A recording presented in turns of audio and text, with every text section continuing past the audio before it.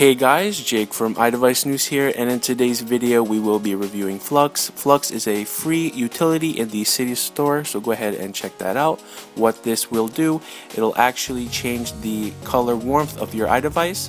Uh, you guys can set it between really warm, you will see that change and it'll actually change it to the brightest setting. Um, this does have multiple settings. It has, uh, I believe, four fixed settings. You guys can check that out in the settings portion of the application. This will need a location services so it can determine whether you're at daytime sunset or sunrise. Now you have the manual settings here.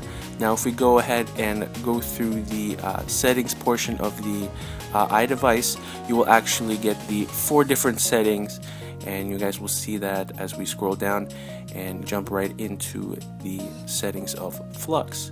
So if we choose uh, at night, you will actually get um, a couple settings. You will get the halogen, which I'm using right now for filming, candle, incandescent, and fluorescent. I highly suggest using this tweak as it'll help you out when you're filming. Uh, fluorescent, midday sun, and normal for daytime. Uh, as I said, it's very useful. I highly suggest checking it out if you're starting uh, YouTubing. You do have a couple settings down below. You can disable the long transitions or enable it, and you guys can turn on the color sensitive work. So guys, highly suggest checking this out. It's free. And uh, this has been Jake from iDevice News here, and I'll catch you guys in the next video.